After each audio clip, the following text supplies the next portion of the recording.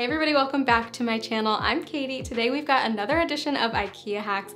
Now if you've been on my channel, I'm sure you definitely know by now that I love doing IKEA hacks and I have a whole series dedicated to it called Can I Hack It? where I challenge myself to recreate decor from popular stores using items from IKEA. So today we are doing something a little bit different because I'm going to be doing seasonal decor and these are going to be IKEA hacks for fall. So I picked up a few items the last time I was there and I thought it would be really fun to create some fall autumn inspired decor on the cheap. So I think you guys will really like these. They turned out super cute. So let's go ahead and get started. Okay, so the first project I wanted to try was a pumpkin shaped wreath and if you just search around on Pinterest, you'll see a bunch of these, but none of them were quite my style exactly. So I really wanted to create my own version. The one that I liked the most was actually posted by Michaels and that was the closest to the vibe that I was going for with this DIY. When I was at Ikea, I found these small faux grapevine wreaths with leaves for $4.99 each. And actually, when I first saw them, I didn't really have a plan for them. But when I got them home, I decided to cut off the piece of the wreath that was holding the leaves to it. This was wrapped all the way around the wreath, so I had to cut it in a few different spots to get the entire thing off and to finally remove the leaves and any other pieces that were loose.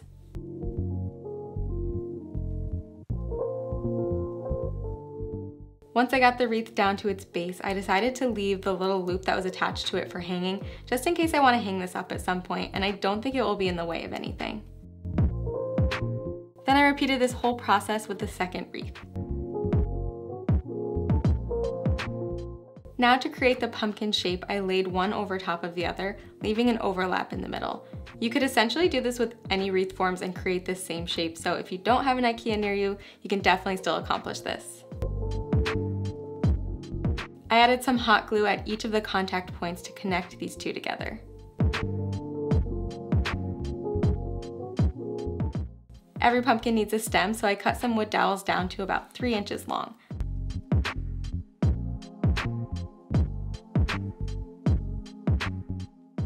I bunched three of them together to make them more substantial. Then I added glue to one of them and glued them all into one piece.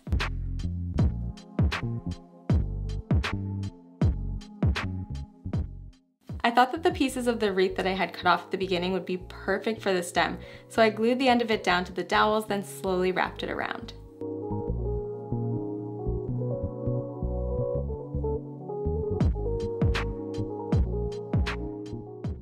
I ended up using two pieces for this, so once I got to the end of the first one, I just glued it down and started on the second one.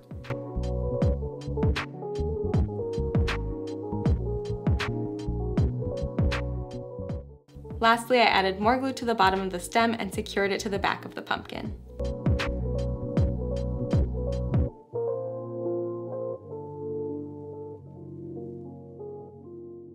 Now for the fun part, which is decorating it. So I'm going to be using dried florals that I also picked up at Ikea, and you might recognize this bunch from my kitchen makeover.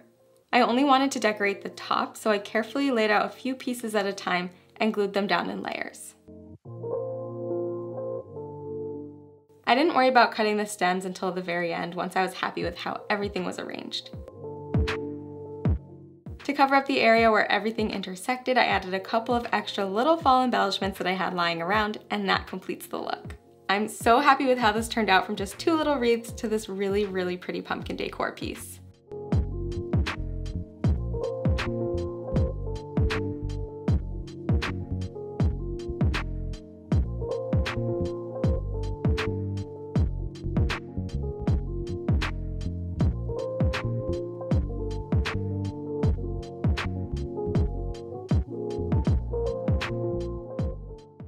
All right, so the second thing that I really wanted to make was some framed textile art, which is everywhere right now and it can be pretty pricey. If you just image search this, you'll see a ton of examples like this one from West Elm and just so many different options. So I thought why not make a seasonal one? Ikea always has really cute placemats like this gray one, which was the last in the store when I was there, and they also just came out with a new line of fall decor, which included these dish towels that come in a couple of different patterns, like this wheat pattern, as well as a bunch of different fall leaves. I'm also using the Hovsta frames, which are always a favorite of mine at Ikea. I picked up this linen-like sheet from the craft store. You can find it in the scrapbooking section, and I thought it would be perfect for the background of the art. So I started by tracing the back piece of the frame onto the back of the linen so that I could cut it down to size. I decided that six inches seemed to be the perfect size for this smaller textile piece. It looks like it will fit perfectly with plenty of room on the outer edges. So I just traced a six inch square onto the back of the placemat using a Sharpie so that I would be able to see the lines. Next, I cut it out and made sure to cut away from the sewn edges because I'm going for more of a raw, unfinished look here. If there are any loose strands when you're done, you can pull them away because this will only add to that unfinished look. I repeated the same process with the back of the dish towel, except this time I used a pencil because the fabric is really thin and I didn't want the marker to bleed through to the other side. I just decided on which pattern I liked the best and traced my square there. Then I cut it out and again if there were any loose edges I pulled them away wherever possible. You can also leave some small strands hanging off the edge too if you like that look. Now to get them ready to be framed, I centered the piece on the linen and then to secure it, I'm just using some double-sided tape. I chose this because I think it would be fun to be able to switch these out whenever I want to, depending on the time of year or what kind of fabric I might come across in the future. So this will make it really easy to switch them out.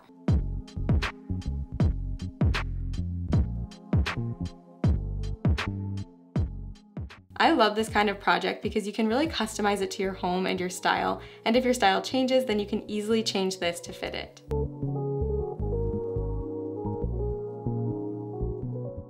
I think these would look amazing hung up together or styled on a shelf. There are so many possibilities.